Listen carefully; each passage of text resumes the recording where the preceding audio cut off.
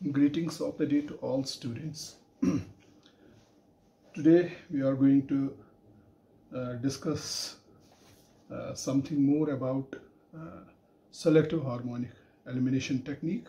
In fact, today we are going to discuss uh, offline optimized PWM technique. Offline optimized PWM technique which is also called stored waveform PWM stored waveform pulse width modulation technique or stored waveform PWM this is the topic of discussion of today's lecture. Actually if you see the literature in the literature the selective harmonic elimination technique which is basically low switching frequency PWM technique whereby you suppress certain harmonics, certain selective harmonics and you control the fundamental component of inverter output voltage.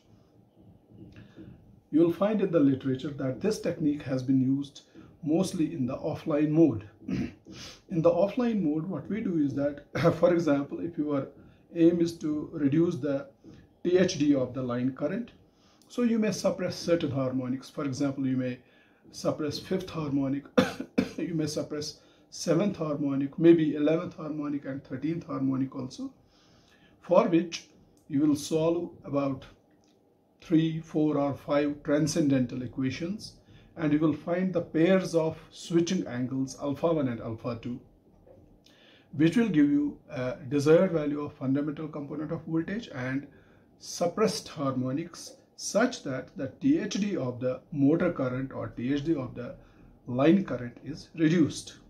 So this may be the goal. This is called optimization. Another objective may be to minimize the pulsating torque because the harmonics in the voltages cause harmonics in the currents excuse me and harmonics in the motor currents cause harmonics in the air gap fluxes and they, when there are harmonics in the air gap flux this air gap flux this air gap flux harmonics interact with the motor current and they produce harmonic torques uh, which are also called pulsating torques. The aim may be to minimize the pulsating torque or the aim may be to minimize motor losses or the objective may be to minimize the total losses of the system that is to minimize the inverter losses and motor losses when this is the aim, then what we do is that we optim we calculate the optimal values of switching angles alpha 1, alpha 2 and store them as a lookup table.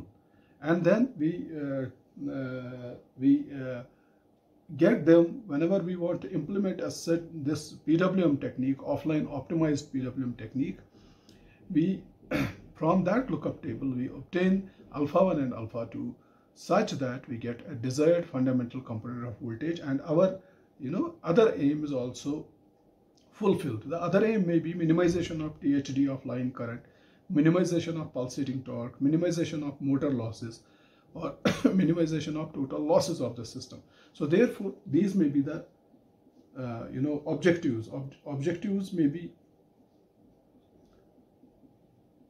minimization of THD, that's total harmonic distortion of line current. Or this is also equivalent to minimization of weighted THD, weighted total harmonic distortion, WTHD. I will discuss this WTHD with you in a minute's time.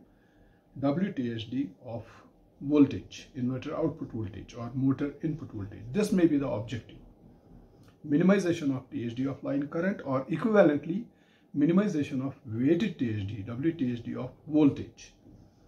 The objective may be different. Objective may be minimization of pulsating torque.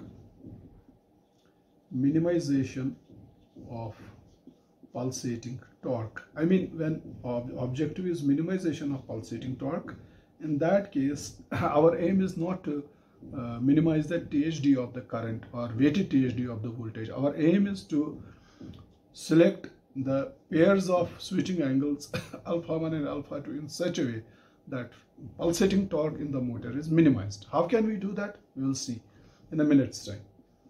Our aim may also be minimization of motor losses. Minimization of motor losses. Actually, the losses which are taking place in the motor, we find their relationship of those losses with the switching angles. Okay, and if we are able to find how these motor losses are affected by uh, switching angles, these motor losses, their relation we find with the switching angles, and if we are able to find a mathematical relationship between motor losses and switching angles alpha 1 and alpha 2, we will uh, select a, a, particular combination of alpha and alpha 2 in such a way that it reduces in minimization of motor losses. So that will fulfill our objective. Our aim may be minimization of total losses. That's all losses. Total losses means inverter losses plus motor losses. That's inverter plus motor losses okay? So if our aim is minimization of THD of line current or minimization of weighted THD of voltage what we do is that we calculate the optimal values optimal values of switching angles. Switching angles. For example if you are taking only two switching angles we find optimal values of switching angles alpha 1 and alpha 2 and st stored them as a lookup table. Lookup table. LUT LUT means lookup table. I repeat if our aim is to minimize THD of the line current or weighted THD of the voltage so we select certain harmonics maybe 5th 7th 11th harmonic and suppress them for that purpose, we calculate the optimal values of switching angles, alpha 1, alpha 2, and if there is alpha 3 also. And we find what are the values of these switching angles for which we get minimum THD of the line current or minimum weighted THD of the voltage. I have already given you an idea about how to select the, the trajectory or locus of point um, on switching angle plane such that specific harmonic or a pair of harmonics is suppressed along with getting the desired fundamental component of voltage. Once we get the optimal values of switching angles, what we do, we store them as a lookup table. So this calculation is not done online, it is done offline. Okay, so these offline calculations are done, mathematical relationships are produced and equations are solved using numerical techniques to minimize the THD or weighted THD and once we get you know various combinations or various pairs of switching angles alpha 1 and alpha 2 we'll store them in the computer memory as a lookup table LUT and then what we do is that we fetch these values from the lookup table uh, when whenever we want to control a particular load. So for example we want that v1 should be equal to v1 star. And so for V1 equal to V1 star and simultaneously we want that weighted THD should be minimum. So these, for this condition, the optimal values of switching angles are already stored in the lookup table. So we fetch those values of switching angles from switching table, uh, this lookup table and Accordingly, uh, the PWM voltage waveforms are produced which are applied across the load and hence we get the desired objective that is V1 equal to V1 star and minimization of THD also takes place. On the other hand, our aim may be minimization of pulsating torque.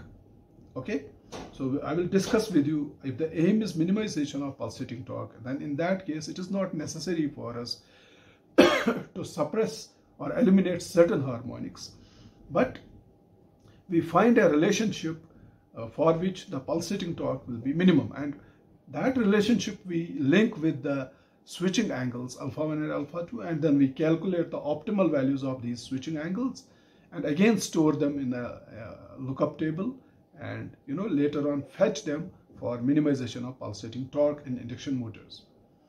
Our aim or objective may be minimization of motor losses.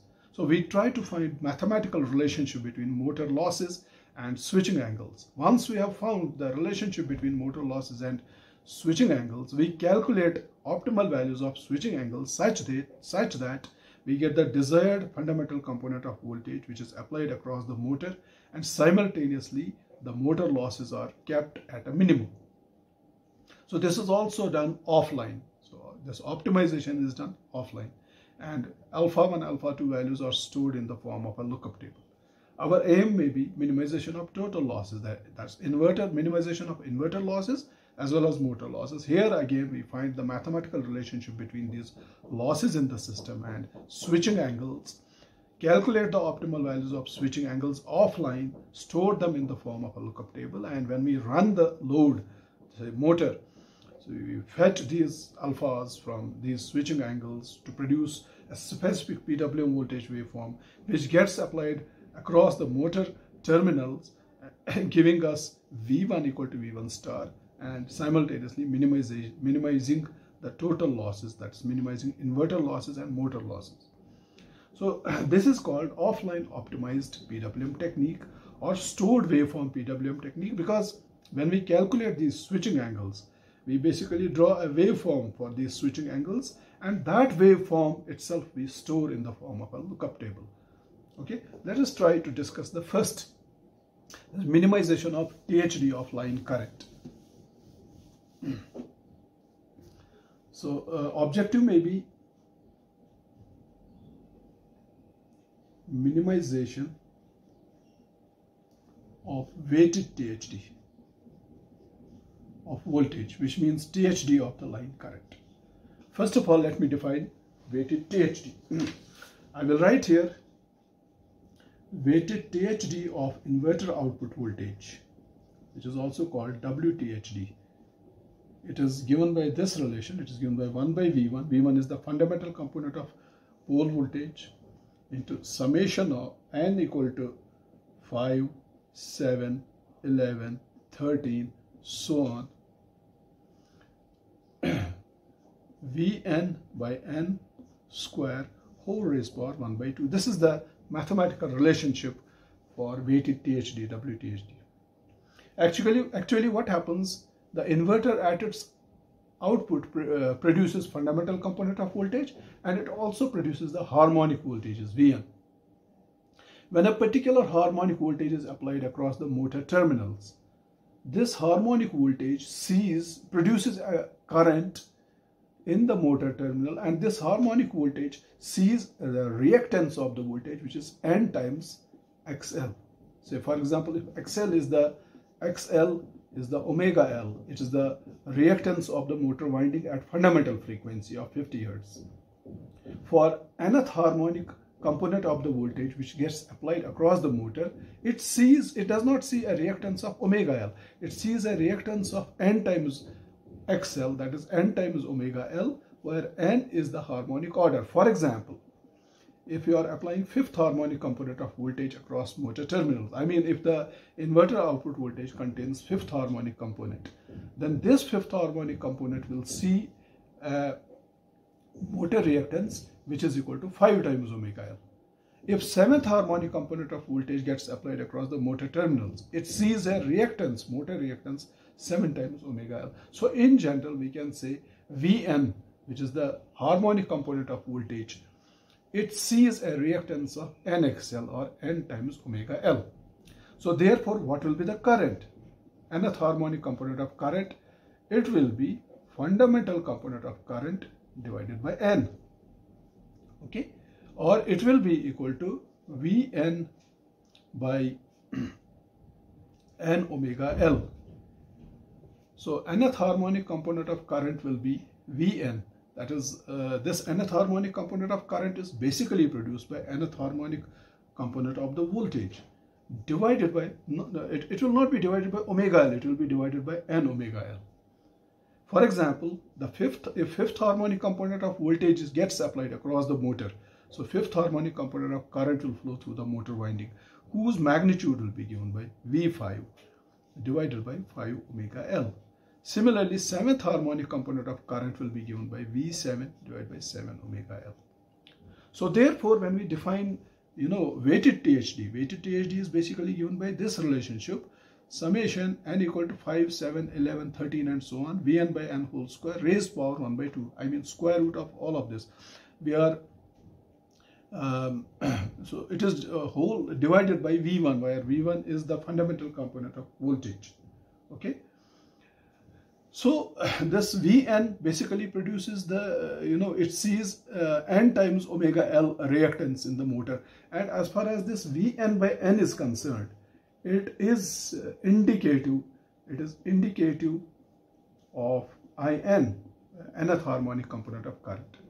So therefore, if you try to reduce this weighted THD, if you use offline optimized PWM te technique, calculate combinations of alpha 1 and alpha 2 in such a way that this weighted THD gets reduced. Weighted THD reduced means this Vn by n you are basically reducing. This when you are reducing Vn by n, basically you are reducing the nth harmonic com component of current. So that means a reduction of weighted THD of the voltage. When you reduce it, you are basically reducing the THD of the current. Because when you are reducing weighted THD, you are reducing basically this Vn by n.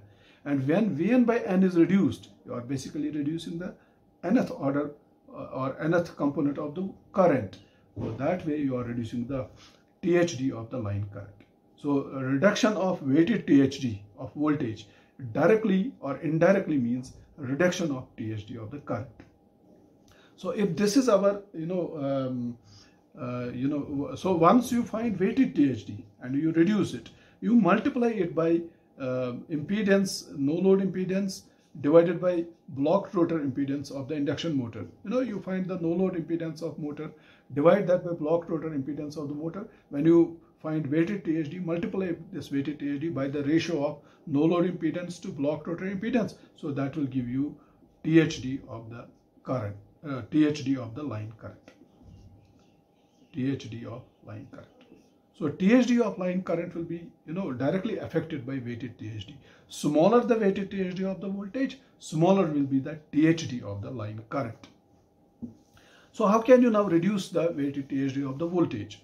Or in other words, how can you reduce the THD of the motor current or line current? we can reduce it by suppressing certain harmonics. For example, uh, let us go back to a previous lecture zero fifth harmonic voltage contours which we have developed in uh, which we have discussed in one of the previous lectures. Briefly if I uh, repeat it again if I uh, discuss it with you and I draw the waveform or switching angle plane again this is alpha 1 0 degree alpha 2 this is 10 degrees 20 degrees 30 degrees, 40 degrees, 50 degrees, 60 degrees, 70 degrees, 80 degrees, 90 degrees. This is alpha 1 and alpha 2 varies like this 10 degrees, 20 degrees, 30 degrees, 40 degrees, 50 degrees, 60 degrees, 70 degrees, 80 degrees and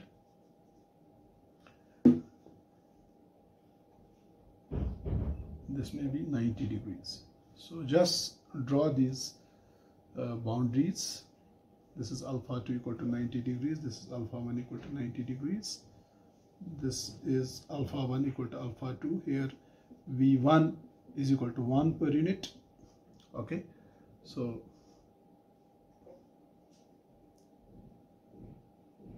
Ten degrees, twenty degrees, thirty degrees, 40, 50. I'm trying to draw the grid 60. I've already discussed it in one of the previous lectures. I am reproducing the switching angle plane and hence the contours of V5 equal to 0. 0 fifth harmonic voltage contours I want to reproduce. Okay, so this is the grid. First of all, let me show you uh, the V1 equal to 0 contour and this is equal this is your v1 equal to 0 contour this is v1 equal to 0 per unit contour and if you remember when we have drawn this uh, v5 equal to 0 contours in one of the previous classes, it was looking like this, something like this. So this was the contour. This is your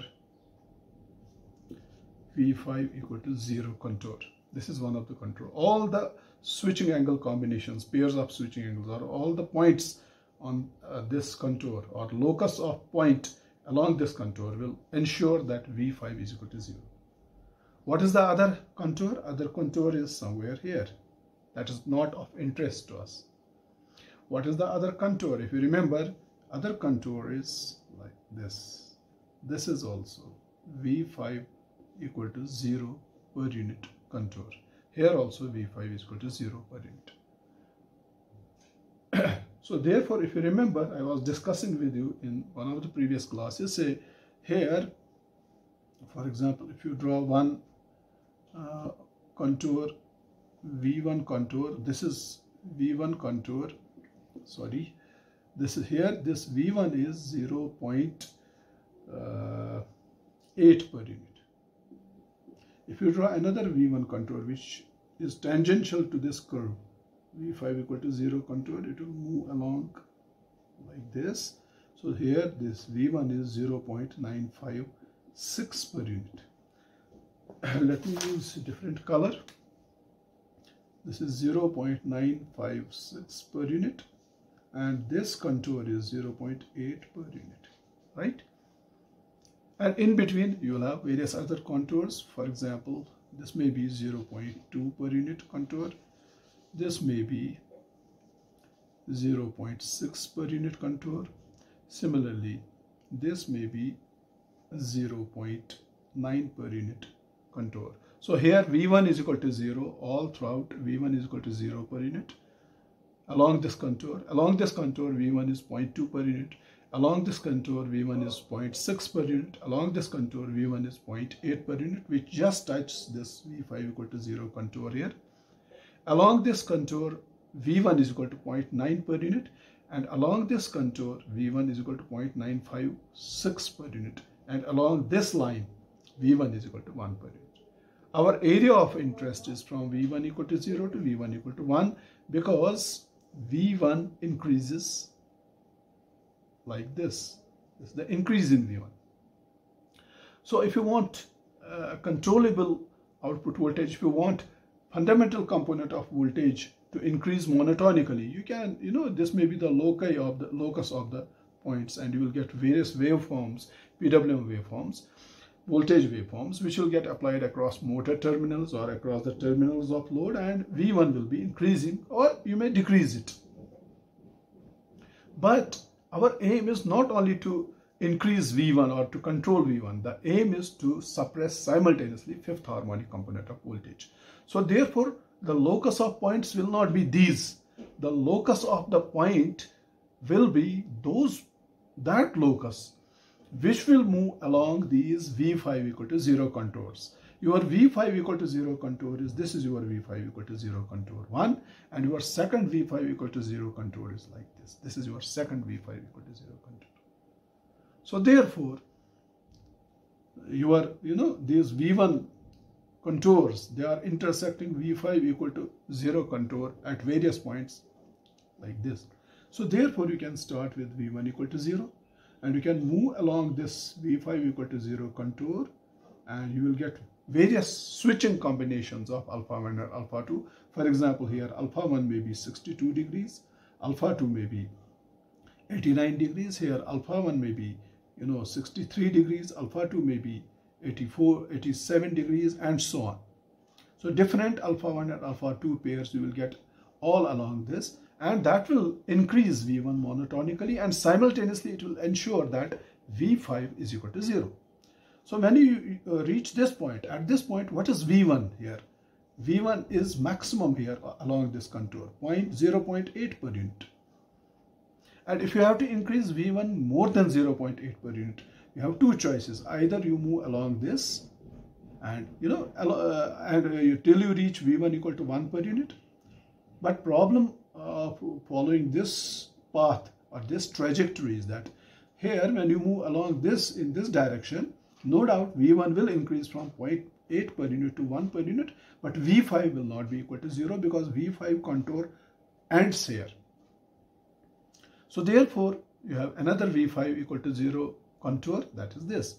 So you can start from here because here V1 is equal to 0 per unit. Then you can move along your, your the locus of point can, can be like this. You can move along this contour which will increase V1 monotonically and simultaneously it will ensure that all along this curve V5 equal to 0 till you reach this point. And at this point, what is V1? What is V1 here? V1 is maximum value 0.956 per unit. And then if you have to move from 0.956 per unit to 1 per unit, then you can move along this. Okay, so uh, beyond 0.956 per unit, you will be increasing V1 from 0.956 per unit to 1 per unit, but V5 will not be equal to 0.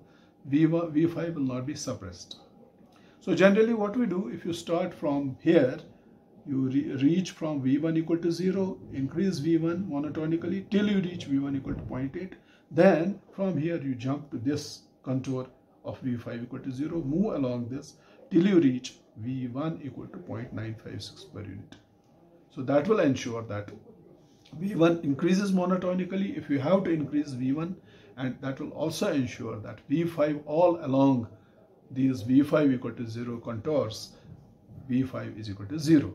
There is no fifth harmonic component of voltage applied across the load terminals or motor terminals. So therefore we have various operating regions. For example, uh, we have 0 to 0.8 per unit. From 0 per V1 equal to 0 per unit to V1 equal to 0.8 per unit. How many solutions you have? You have two intersections. One intersection here, another intersection here. So this is one solution, this is another solution. This is one solution, this is another. For example, here V1 uh, is equal to 0.6 per unit, V5 equal to 0. Here also V1 is equal to 0.6 per unit, V5 equal to 0.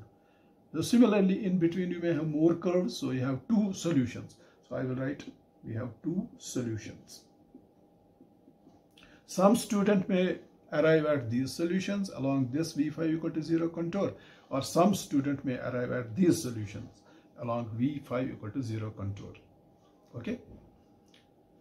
My other boundary is 0.8 less than or equal to V1 less than or equal to 0.956 per unit.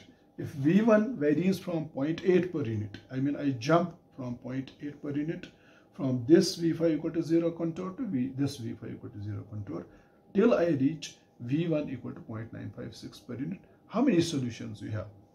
From this point onwards, you, know these V1 contours are intersecting only this V5 equal to 0 contour and they are not intersecting V5 equal to 0 contour here. So we have only one solution. And beyond 0.956 per unit, that is 0.956 less than V1, less than or equal to 1.0 per unit. That means if your V1 fundamental component of pole voltage is greater than 0.956 per unit, up to 1 per unit, we have no solution. Because you can see from 0.956 per unit to 1 per unit, V1 will be increasing, but it will not be intersecting V5 equal to 0 contour. So V1 will be increasing, but V5 will not be equal to 0.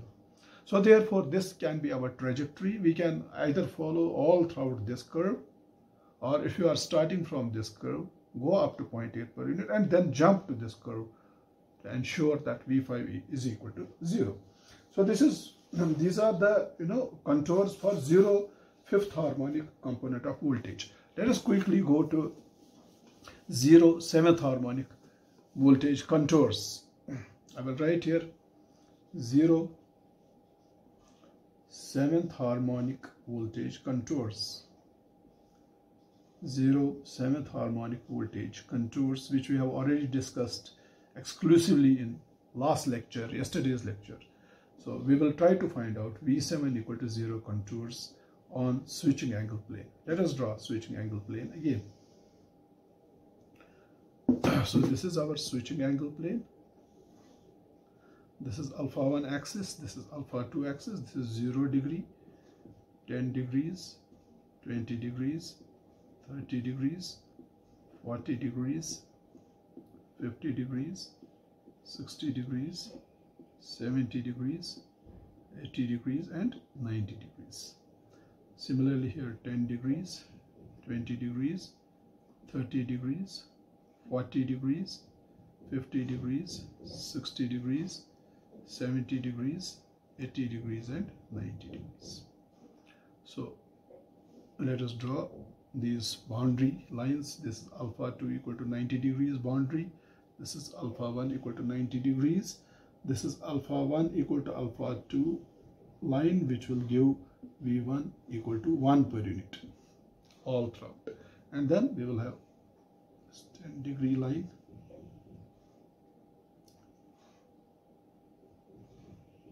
20 degrees 30 degrees 40 degrees 50 degrees 60 degrees 70 degrees 80 degrees. These are vertical lines. And my horizontal lines are like this. 10 degrees 20 degrees 30 degrees 40 degrees 50 degrees 60 degrees 70 degrees 80 degrees and 90 degrees. So v1 is equal to 0 contour is this. This is v1 equal to 0 contour. 0 per unit. Okay? Now if you remember as we have discussed in previous class last class v7 equal to 0 contour will start from around 8.57 alpha 1 equal to 0 degree and alpha 2 equal to 8.57 degree here and here it is around alpha 2 equal to 42.5 degrees something like that. So then this will be our v5 equal to sorry v7 equal to 0 contour. So this is our v7 equal to 0 per unit contour this whole thing. If I shift this curve upward I will get another contour like this. This is also v7 equal to 0 per unit contour and along this line I will get you know uh, if I shift this curve towards right side by 51.43 degrees which we have discussed in the last class and then shift that curve above by 51.43 degrees or in other words if you shift this curve by 51.43 de degrees you will get another curve like this This curve is also V7 equal to 0 per unit contour. So this is my V7 equal to 0 per unit contour. This is V7 equal to 0 per unit contour and this is also V7 equal to 0 per unit contour. And my area of interests or my region of interest is this and this because my V1 should increase monotonically from V1 equal to 0 per unit to V1 equal to 1 per unit downwards. So therefore the intersection of V1 contours. Yeah? For example, this is V1 equal to 0.2 per unit. This is uh, V1 equal to, say, for example, 0.6, uh, 0.3 per unit. This is V1 equal to 0.4 per unit. This is another V1. V1 equal to 0.4 per unit. Then these are various contours. This is another contour. You'll have a lot, many contours like this till you reach this contour and so on. Okay. So here you will find, uh, if you remember here, we have found it in the previous class here, uh, V1 is 0.46 per unit here. V1 is equal to 0 here and V1 is 0.46 per unit. I will write here V1 is equal to 0.46 per unit along this contour. Okay. And here along this contour which is just intersecting this V7 equal to 0 curve, V1 is probably uh, 0.87 per unit, 0.87 per unit. And then you move down and uh, this contour will give V1 equal to 0.978 0.978 per unit. This contour. Okay? So therefore you have the choice. Either uh, you know v1 is equal to 0 this is v1 equal to 0 so for example you may have to increase v1 monotonically and simultaneously you have to ensure that V7 is suppressed. That is seventh harmonic component of inverter output voltage is suppressed. So therefore, the point of intersection between V1 contours and V7 equal to 0 contours. These are the various points of intersection on this curve and on this curve. So on this curve, we can start from here. Here V1 is equal to 0 because this contour is V1 equal to 0. Then you move along, this, this is the locus of points which will give PWM waveforms and it will ensure that V1 increases monotonically and simultaneously V7 is equal to 0 till you reach V1 is equal to 0.87 per unit. From here you will jump to this curve. And when you jump to this curve you move along this contour. Okay this is the locus of point which will give PWM waveform voltage waveforms.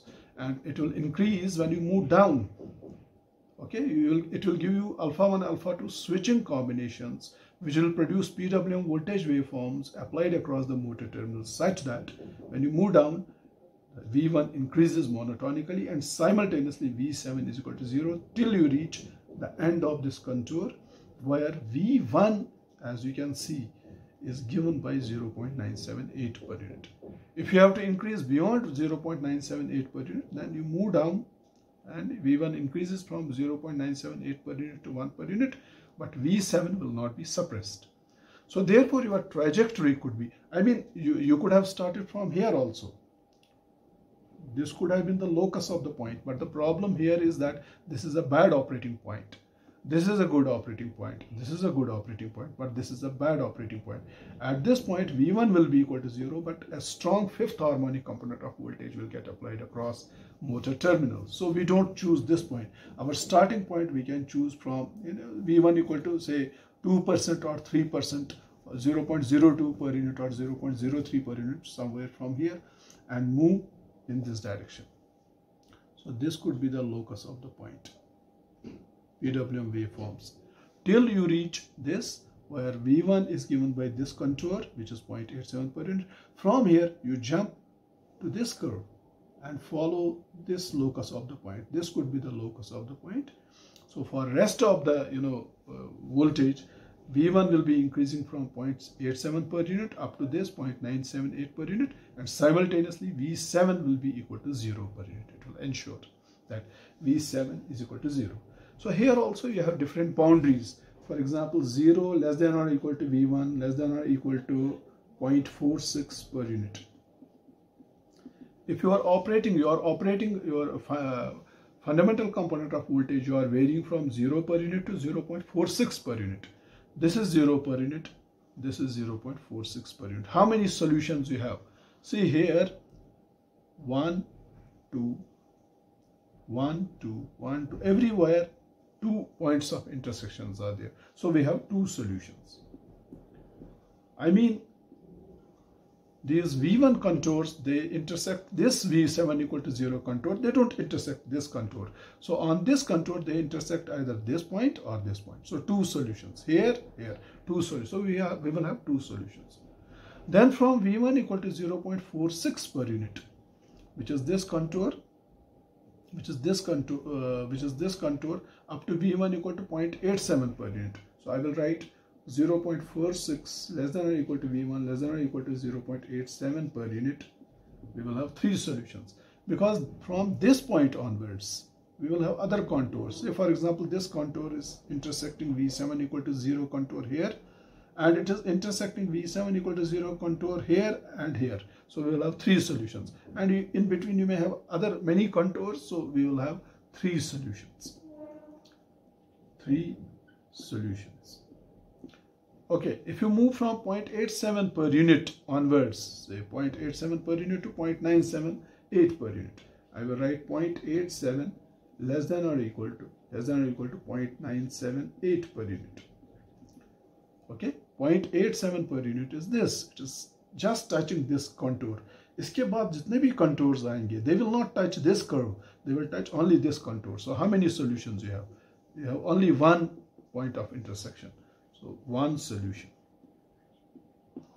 And beyond 0.978 per unit, that is 0.978 less than V1, less than or equal to 1.0 per unit, so if your fundamental component of voltage is greater than 0.978 per unit up to 1 per unit, it's not your V1 is increasing, but your V, you know, V1 contours are not intersecting V7 equal to 0 contour. So you have no solution. No solution means fundamental component of voltage we are able to increase from 0.978 per unit to 1 per unit, but seventh harmonic component of voltage will not be equal to 0. V7 will not be equal to 0. So over this range of fundamental component of voltage, we have two solutions. Over this range of fundamental component of voltage, we have three solutions. Over this range of fundamental component of voltage, we have one solution. And over this range of fundamental component of voltage, we have no solution. Okay. Now, in order to, our aim is to reduce the weighted THD of the voltage. In order to reduce the weighted THD of the voltage, it is better for us to look for those points where fifth harmonic as well as seventh harmonic components are eliminated or even if they are not eliminated, they are very, very small in magnitude. So therefore, let us try to see those boundaries where, you know, uh, V5 is nearly equal to 0 and V7 is also nearly equal to 0. So I will write here V5 equal to 0 and V7 equal to 0 contours. Let us try to find out those contours on switching angle plane.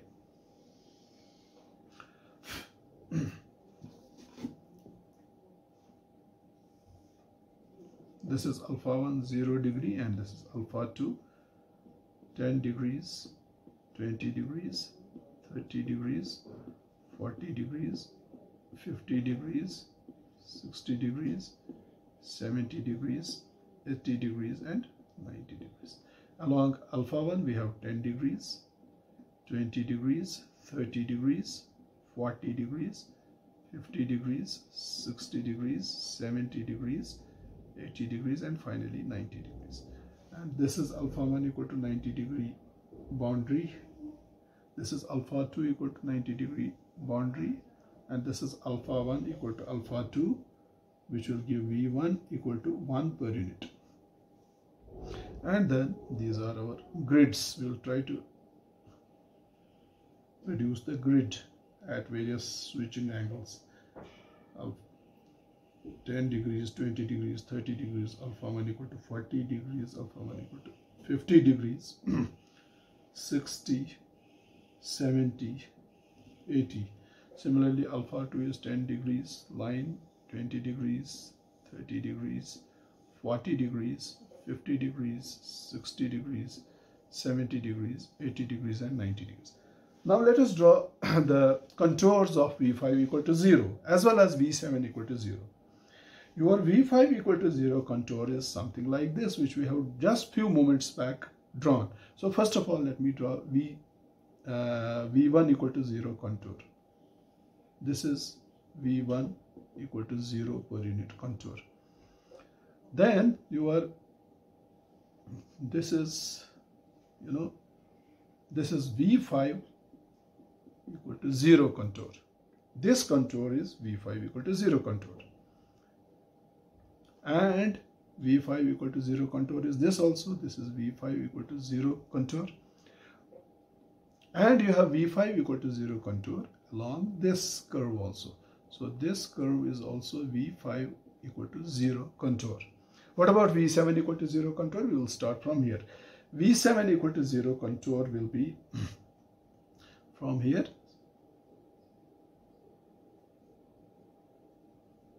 this is V7 equal to 0 contour, this contour.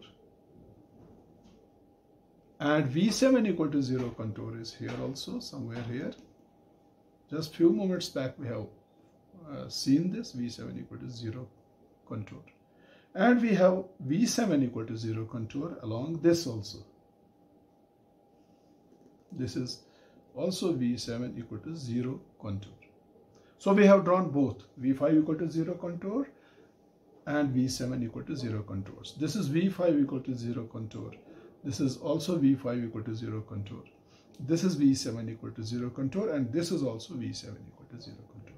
Let us try to identify those points where both V5 is 0, V7 is also closely equal to 0.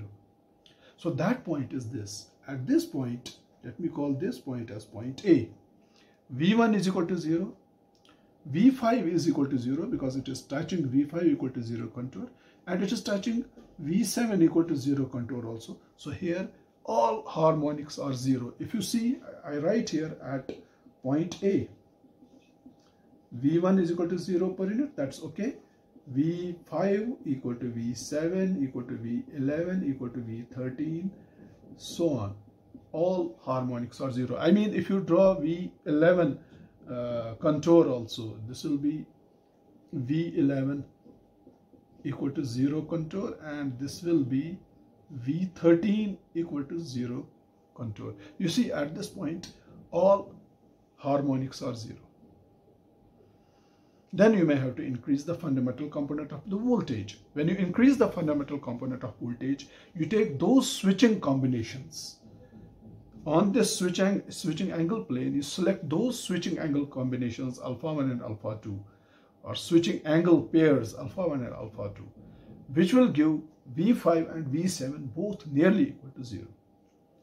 So when V1 has to increase, you have to increase V1, you have two choices. Either you increase from here or you increase from here. This is not a good operating point because I have already told you because at this point V5, the fifth harmonic component is very strong. And no doubt seventh harmonic component is 0 but fifth harmonic, 11, 13, those harmonics are already there. They will get applied across motor terminals. So if you have to, another operating point is here. Here also you can see V1 is 0, V5 is 0, V7 is also 0. This is, say this is point B. At B, V1 is 0 per unit, V5 is also 0, V7 is also 0 per unit. But here you are getting 11 and 13th harmonic also equal to 0. If you increase V1 monotonically, you, you may, this may be the locus of points. As you move downwards, V1 is increasing and simultaneously you are ensuring that V5 is 0 but V7 is not 0 along this contour. You can see because V7 is 0 along this contour, you are moving away from this. So this may be your various V1 contours. This may be one V1 contour, another V1 contour, another. You may have a lot many V1 co uh, contours. Okay.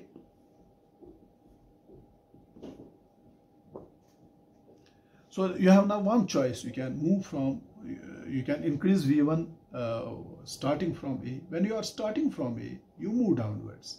When you move downwards, V1 increases And since you are moving downwards along this contour, it ensures that V7 is equal to 0 or is contour by V, you are moving along V11 equal to 0 contour also and V13 equal to 0 contour. And we, you are very close to, this is your V5 equal to 0.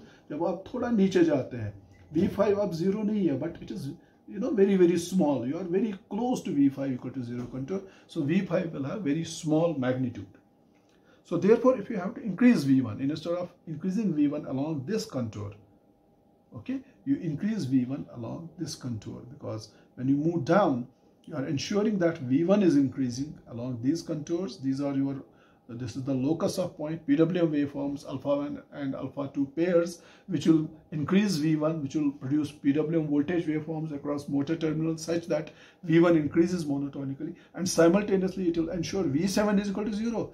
V11 is 0, V13 is also 0 and V5 is not 0 but it is very close to equal to 0. So that means for low modulation indexes this region is very important. You should always start from this region. So for low modulation indexes, low inverter output voltages, low modulation indexes. A is a good starting point. Is a good starting start from a move down जब आप नीचे ज़्यादा जाते हैं तो then you you know you are moving away from V five equal to zero और आप V seven V eleven V thirteen equal to zero से भी दूर हो रहे हैं तो then you if you are following this contour here V one is increasing and only V seven then become is equal to zero V five is very strong V eleven is very strong V thirteen is very strong so that means this region this small region is suitable only for low modulation indexes for high modulation indexes this is this point let me call this point as point C this is the best operating point because agar aap yahan I mean जब आप यहाँ नीचे जाते हैं and then you can jump to this control we we five equal to zero control और this V seven equal to zero control और आपके operating points you can follow this curve when you are following this curve यहाँ पे आप देख सकते हैं v7 is 0 and v5 is also 0 or if v5 is not 0 it is very close to 0 so you are ensuring that two harmonics are simultaneously made equal to 0 two harmonics are simultaneously you know eliminated. So therefore I can write for high modulation indexes for high inverter output voltages which means for high modulation indexes C is good point good operating point आप C पे आप लो moderation index यहाँ से शुरू करें और जब आप यहाँ समवेयर हेयर पहुँच जाते हैं then you jump to this curve okay फिर और यू कैन यहाँ यहाँ पहुँच के आप इस कर्व पे जंप करते हैं और फिर आप जब इसके आसपास you are moving your locus of the point is around this you are increasing v1 monotonically and you are keeping v7 and v5 also very very low so that will keep weighted thd of the voltage very very low so that thd of current is also kept low. So therefore our this aim is fulfilled. Minimization of weighted thd of voltage. So for minimization of weighted thd of voltage for, for low modulation indexes follow this may be the locus of the point PWM waveforms and store these alpha 1 and alpha 2 informations in a lookup table. And for high modulation indexes the locus of point is around this C okay above and below. Because here V5 and V7 are very very low. They are very nearly equal to 0 and weighted THD is nearly uh, I mean weighted THD is minimized. And you store these alpha 1 and alpha 2 information in the form of lookup table. And when you have to operate your motor fetch those alpha 1 and alpha 2 values from lookup table from the memory and produce the uh, your your control algorithm will accordingly according to those alpha 1 and alpha 2 switching angles switching combinations. It will produce the desired voltage PWM voltage waveform across the motor in such a way that V1 is controlled and simultaneously V5 and V7 are very nearly equal to 0, around 0, which results in minimization of weighted THD of voltage. So therefore, those alpha 1 and alpha 2 combinations, these switching angles around this, along this contour and along this contour, they are stored in the lookup table, so in the form of a stored waveform. So what you are, when you are storing uh, alpha 1 and alpha 2, you are basically storing this waveform, PWM voltage waveform, because each switching angle will give certain PWM voltage waveform. So this that's why it's called stored waveform, PWM. You are storing it offline in a lookup table and then fetching it for control of uh, you know inverter output voltage and simultaneously fulfilling the objective of minimization of weighted THD of the voltage. Fine. So this is how uh, you know we select. Um, we we uh, go for offline optimized PWM technique with minimization of weighted THD of the voltage and store alpha 1 and alpha 2 in that stored wave this waveform is stored in the form of a lookup table. Now our objective may be different. I mean our objective may be minimization of pulsating torque. Minimization of pulsating torque. First of all, you have to understand what causes pulsating torque. Let us assume we have a three-phase induction motor and this induction motor is supplied with a purely sinusoidal three-phase voltage. This three-phase sinusoidal voltage will result in the flow of three-phase sinusoidal currents both in stator windings as well as rotor windings. So the fluxes will be sinusoidal and currents will also be sinusoidal. And we already know that torque in the motor is produced by the interaction of flux and uh, current, motor current. So torque is produced, torque is produced due to the interaction of flux, air gap flux and motor current. If voltage applied to the motor is sinusoidal, it will result in the flow of sinusoidal motor current. So flux will be sinusoidal, current will also be sinusoidal. So there will be a steady torque will be produced. Steady torque will be produced by the motor. It will have no pulsating torques. But that is not the case when you are controlling your motor uh, through an inverter and you are using for example an inverter. The inverter produces the PWM voltage waveform. And this PWM voltage when it gets applied across the motor terminals it has fundamental component and as well as harmonics. And those harmonics will produce harmonic currents. And then because of the flow of harmonic currents in the motor windings harmonics fluxes will also be produced. So these harmonic fluxes will interact with uh, you know motor currents and they will produce harmonic torques. See you will have fundamental component of current and sinusoidal flux also because of fundamental component of current. They will interact with each other i will write here uh, sinusoidal flux and fundamental component of current.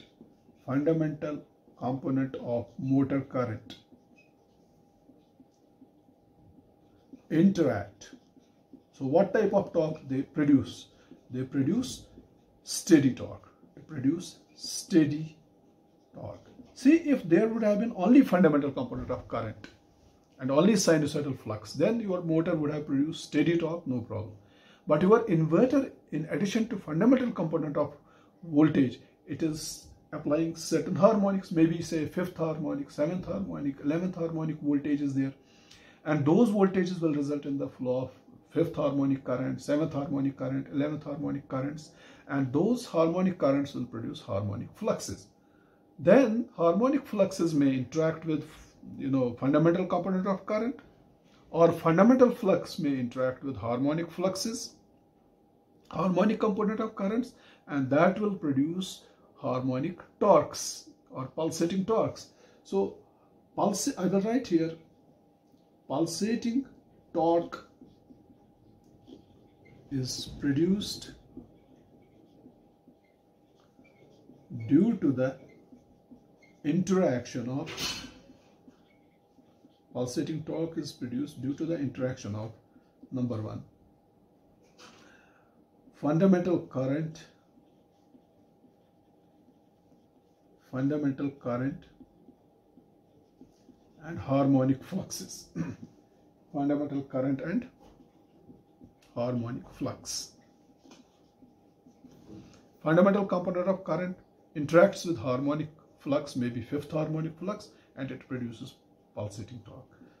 Second is uh, fundamental flux, interaction of fundamental flux and harmonic current maybe fundamental component of flux uh, you know interacts with fifth harmonic component of current or seventh harmonic component of current and that also is responsible for producing harmonic uh, this pulsating torque. And third is harmonic flux and harmonic current. They may interact and produce pulsating torque but since harmonic component of currents and harmonic fluxes are very very negligibly small in amplitude so uh, pulsating torques produced by the interaction of harmonic flux and harmonic current is negligibly small.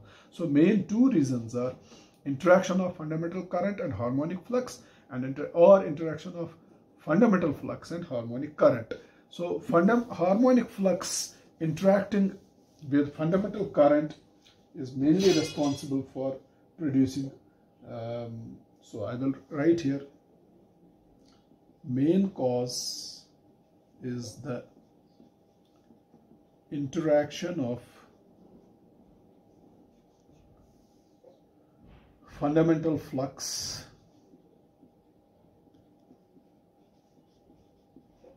and harmonic current.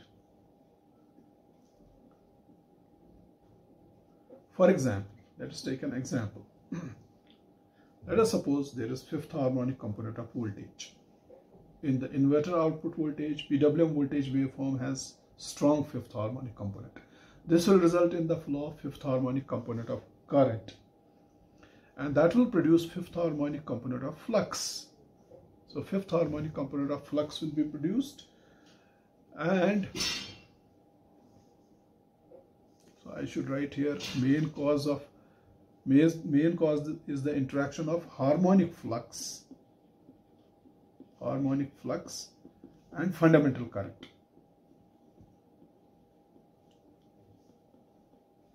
So fifth harmonic component of voltage, if it is present in the inverter output voltage, PWM voltage, it will produce fifth harmonic component of current. That will produce fifth harmonic flux, which will rotate in the anti-clockwise direction at a speed five times fundamental. On the other hand, you will have fundamental component of voltage also that will produce fundamental component of current and fundamental component of current will produce fundamental flux and this flux will be say for example rotating in the clockwise direction at a speed omega. This fifth harmonic flux which is because of fifth harmonic component of voltage and hence fifth harmonic component of current it will produce you know fifth harmonic flux which will be rotating in the anti-clockwise direction at 5 omega so what is the relative speed between the two fluxes, fundamental flux and harmonic flux? It is, this is 5 omega in this direction, omega, so it is 6 omega. So therefore, the interaction of these two, it will produce sixth harmonic torque because the uh, relative motion between the two is 6 omega.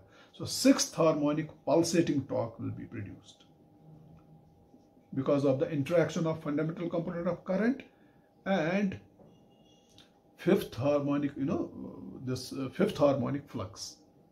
Similarly, let us suppose there is seventh harmonic component of voltage is applied across the motor terminals. That will result in seventh harmonic component of current, which will produce seventh harmonic flux. And this seventh harmonic flux will rotate um, in the same direction at 7 times omega, 7 times fundamental frequency. On the other hand, fundamental component of current will produce flux, which is also rotating at omega. See, now seventh harmonic flux will rotate at 7 omega and fundamental flux, which is because of fundamental component of current, will rotate in the same direction omega. Again, what is the relative speed between the two? 6 omega. 7 omega minus omega, 6 omega. And this will also produce sixth harmonic torque. So therefore, sixth harmonic torque will be very strong and our aim is to suppress this uh, sixth harmonic torque or sixth pulsating torque because otherwise this pulsating torque will may cause strong vibrations in the shaft of the motor. Okay. So the best thing is that you suppress the fifth harmonic component of current, make it equal to zero. You can do that if fifth harmonic component of voltage is absent in the inverter output voltage. Suppress the seventh harmonic component of voltage also that will make I7 equal to 0. So when you are selectively eliminating fifth harmonic component of voltage, seventh harmonic component of voltage, fifth and seventh harmonic currents will not be there and there will not be these 5 5 and 5 7 these fluxes and hence sixth harmonic torque will this pulsating torque will go it will not be but it is not possible at all operating points. Just few moments back, we have seen that at all operating points, it's not possible to uh, have exactly V5 equal to 0 and exactly V7 equal to 0. For example, just few moments back, we saw that at low modulation indexes, V5 and V7 may be very closely equal to 0, but not both of them will be equal to 0. And at high modulation index also, indexes also, V5 may be at some point equal to 0, but V7 may not be equal to 0. At some other point, V7 may be 0, but V5 may not be equal to 0. It has been found that uh, with uh, two switching angles, you know, per quarter, it's not possible to, to make at all operating points to make V5 equal to 0 and V7 equal to 0. It's not possible. However, it has been found that this pulsating torque T6 is directly proportional to difference between fifth harmonic current and seventh harmonic current, which means it is directly proportional to V5 by 5 minus V7 by 7.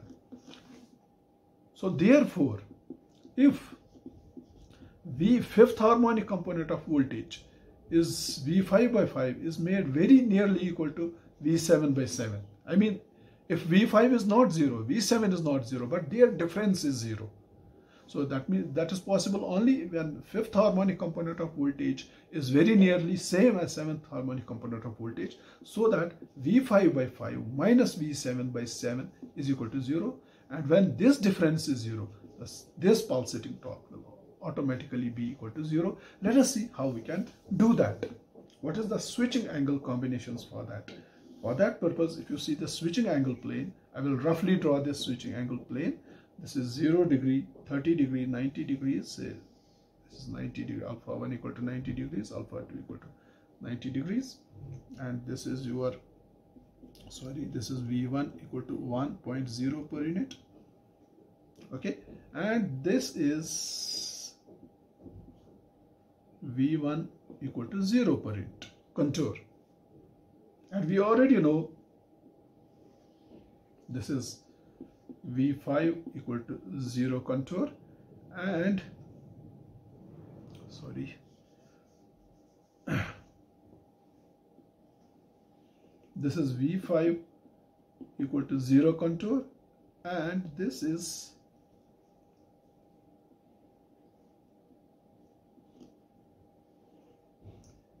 v this is v7 equal to 0 contour. ठीक Similarly here this is V7 equal to 0 contour and this is V5 equal to 0 contour. Similarly here this is V5 equal to 0 contour and this is V7 equal to 0 contour. So if you start from here, here V5 is 0, V7 is 0, up niche niche jaye, V1 you increase still V5 and V7 are 0, so T6 will be 0. But what about if you reach this point? At this point, V7 is 0, but V5 is not equal to 0. So there will be a strong, this pulsating torque, T6 will be present.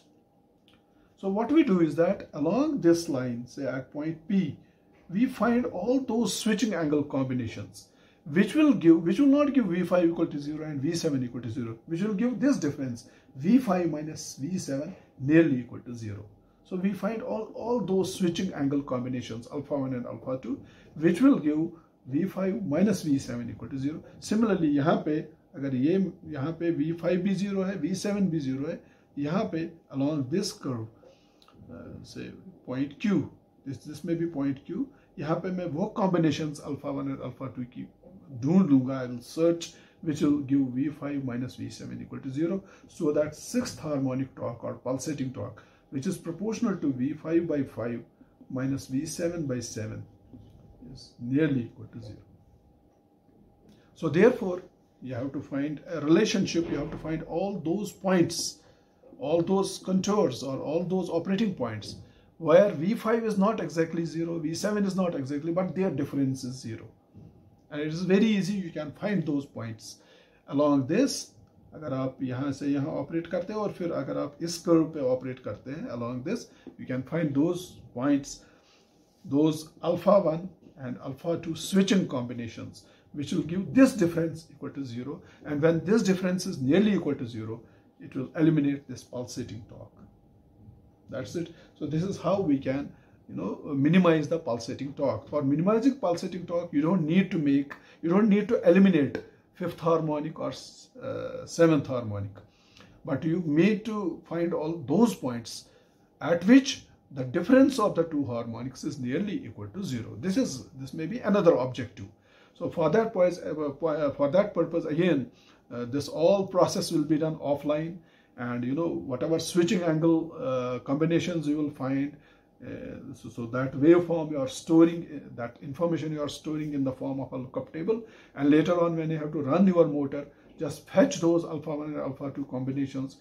So those different alpha 1 and alpha 2 combinations at which V5 minus V7 equal to 0 will give such PWM voltage waveforms across the motor terminals which will ensure that V1 is controlled and simultaneously the pulsating torque T6 is kept nearly equal to 0. Similarly, if your, uh, you know, uh, aim is minimization of losses, motor losses, minimization of losses. In that case, you find, uh, you know, the, you find some mathematical equation of motor loss, losses, and you find some relation, function of switching angles, alpha 1 and alpha 2. If you are find, able to find these motor losses, their relationship with switching angles, motor losses as a function of switching angle. So you can store offline these alpha 1 and alpha 2 again in the lookup table and fetch those values, run your motor with minimum losses. Okay, so therefore your selective harmonic elimination techniques which we have been discussing over last three to four lectures and we, we have tried to understand it graphically with the help of switching angle plane. Here uh, you may your aim may be to suppress certain harmonics. We have seen how we can suppress harmonics. Or aim may be minimization of weighted THD for which purpose you know uh, I have shown you how we can um, choose the alpha 1 and alpha 2 combinations in such a way that weighted THD is kept low. Or aim may be minimization of pulsating torque and here in this case you find such combinations of switching angles alpha 1 and alpha 2 at which v5 minus v7 is nearly equal to 0 so that the pulsating torque t6 is nearly equal to 0 or if your aim is minimization of motor losses you find the relationship between motor losses and switching angles. Store the switching angle information in the form of lookup table so that becomes your stored waveform PWM offline optimized PWM technique fetch those alpha and alpha 2 and ensure that motor losses are kept at minimum. So this is uh, that's all about low switching frequency PWM. Actually, when we are doing this, basically when you are calculating alpha 1, alpha 2 and maybe alpha 3 also, you have to solve uh, the iterate, you have to solve the transcendental equations whether your aim is minimization of pulsating torque or your aim is minimization of weighted THD or aim is minimization of losses. You have to solve transcendental equations. We have seen over last few lectures how those transcendental equations can be solved. You have to use numerical iterative procedure like Newton-Raphson technique and or other numerical iterative procedure to get the values of alpha 1 and alpha 2 in such a way that your aim is fulfilled that is fundamental component of inverter output voltage is controlled and simultaneously either weighted THD is minimized if that is your aim or pulsating torque is kept nearly equal to zero if that is your aim or motor losses or total system losses are kept low if that is your aim. So this all is done offline. These low switching frequency PWM techniques are basically not online techniques. They are offline PWM techniques. Here, depending upon what is your you know objective, is it minimization of pulsating torque or minimization of weighted THD or something else? You you know solve the equations. First, you try to understand that graphically, and then solve the equations, those transcendental equations. Find alpha one, alpha two combinations store them in the form of a waveform or as a lookup table and then later on when you have to drive your load fetch those alpha 1 and alpha 2 combinations such that the fundamental component of voltage gets controlled that is V1 is controlled and simultaneously your aim is other aim is also fulfilled which may be minimization of pulsating torque or minimization of weighted THD or minimization of losses etc. So with this I will end my today's lecture and this of course ends our discussions on low switching frequency PWM which was mainly focused around switching the sorry selective harmonic elimination technique.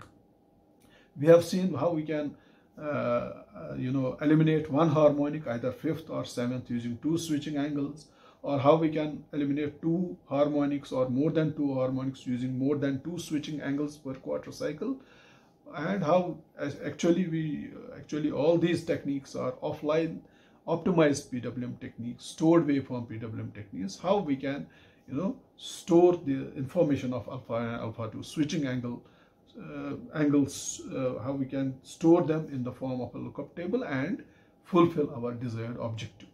So for high power drives, the slow switching frequency PWM is very popular. So uh, I hope uh, I have been able to, you know, deliver in the best way uh, the main objective and main aim of low switching frequency PWM selective harmonic elimination technique, you know, offline optimized PWM technique, you know, uh, how we, uh, you know, using the switching angle plane, we have been able to understand uh, very deeply uh, how we can, you know, uh, calculate this alpha 1 and alpha 2 for for different combinations of these switching angles.